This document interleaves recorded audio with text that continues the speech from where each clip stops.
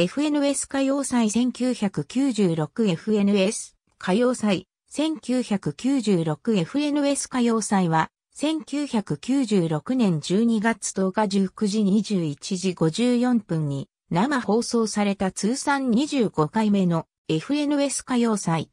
この回と次回はグランドプリンスホテル新高輪に代わって横浜アリーナが会場となった。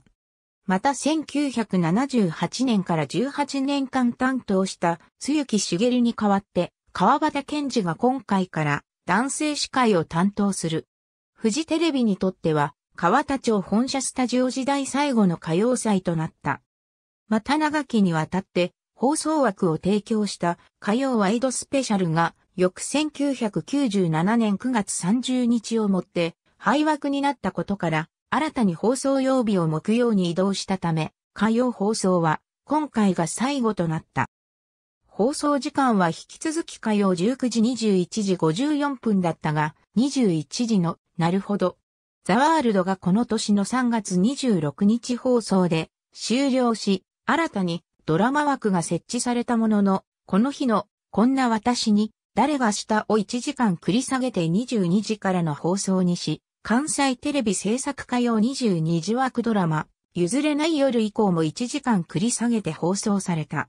演歌、歌謡曲勢の出演は、香西香織、健三郎ジ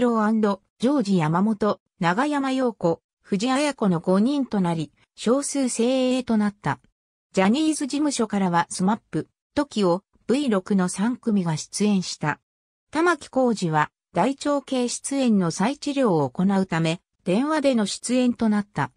ただし1987年から1989年までは、古舘一郎と共に担当した。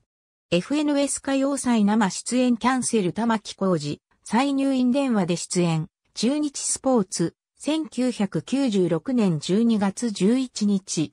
ひろこにラブソングプレゼントしますおのろけ復帰会見、玉木浩二、中日スポーツ、1996年12月17日。ありがとうございます。